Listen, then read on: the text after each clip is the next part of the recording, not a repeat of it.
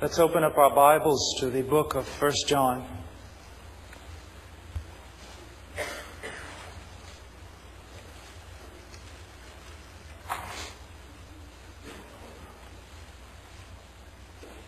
The book of 1 John, chapter 2,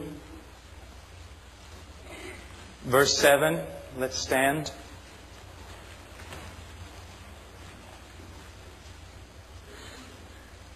1 John chapter 2 verse 7 Beloved I am not writing a new commandment to you but an old commandment which you have had from the beginning. The old commandment is the word which you have heard. On the other hand I am writing a new commandment to you which is true in him and in you because the darkness is passing away and the true light is already shining.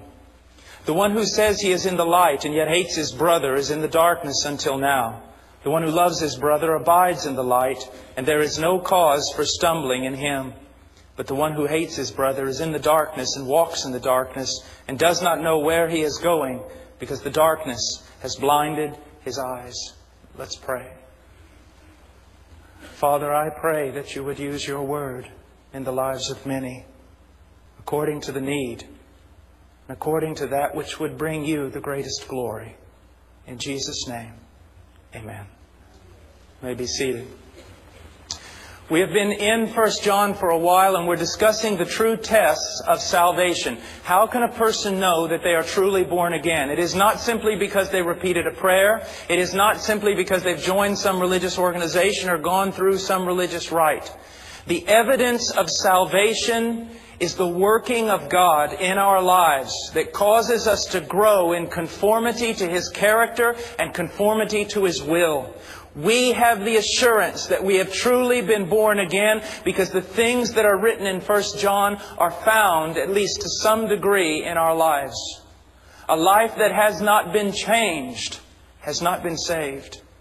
I know we live in a country where everyone and his brother is a Christian because at one time at an evangelistic crusade they prayed a prayer. My friend, that is not biblical.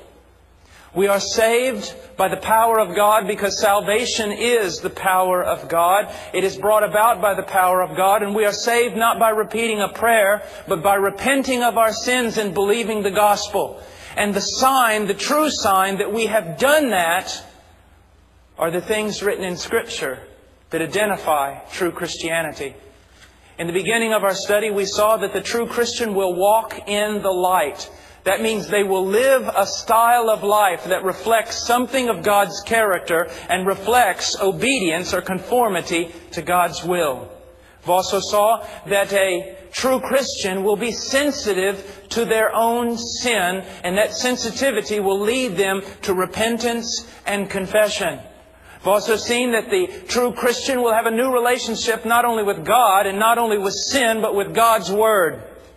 That a true Christian's life is marked by habitual obedience. Our obedience will not be perfect. A true Christian will sin. That's why he must be sensitive to sin. But the life of a true Christian will be marked by a new relationship, a real relationship with the Word of God. And then lastly, we studied that the true Christian will walk like Jesus walked.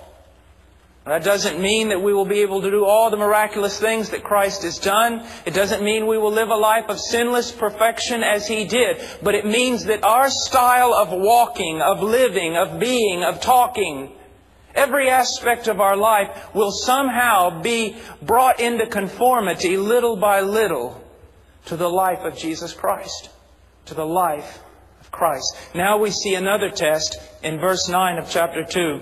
The one who says he's in the light and yet hates his brother is in darkness until now. Possibly the greatest sign of true Christianity is that you love the brothers.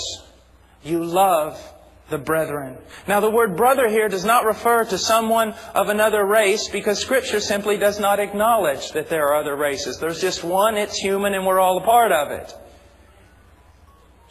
It's not referring to someone from another culture. It's not referring to the poor, even though we should love the poor and we should love people from other cultures, all cultures, every walk of life. We should love our enemies, those who persecute us and nail us to trees. We should love. But here, He's talking about love for other individuals who profess Jesus Christ as Lord. Now, let me give you an example of how this works. Have you ever, do you remember the teachings of Jesus where he said, I was in prison, you didn't visit me. I was sick and you didn't come to me. I was hungry and you didn't feed me. I was naked and you didn't clothe me. And that verse is so often used as a, as a proof text for prison ministries and ministry outreach to the poor. And, well, we should do all that, but that's not what that verse is teaching. Let me give you an example. In many third world countries, when you are thrown into prison, you are not fed.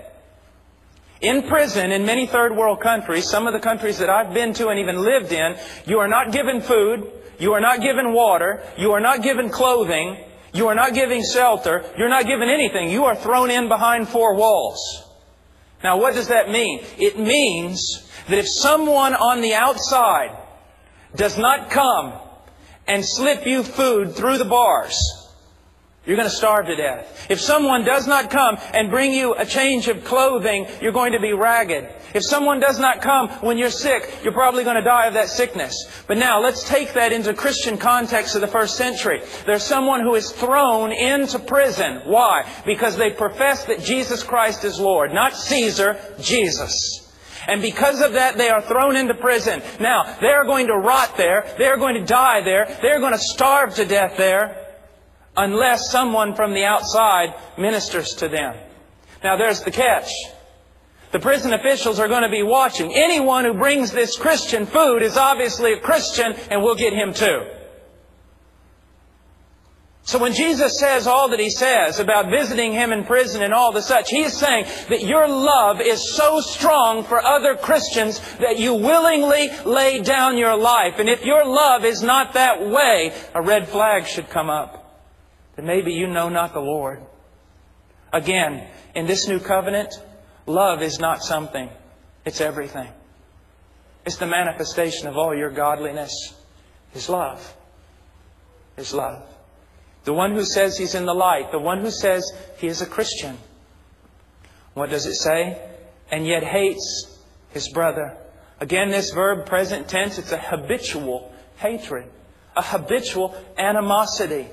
You say, well, I don't have that great animosity and I don't have that great hatred towards people who call themselves Christians. But um, love is much more than just not doing the negative. What positive actions of love do you demonstrate to the people of Christ? Now, let's just step back for a moment and think about this.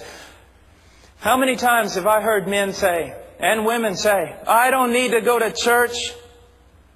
Church is so filled up with hypocrites anyways. I can worship God in this bass boat. I can worship God on this golf course.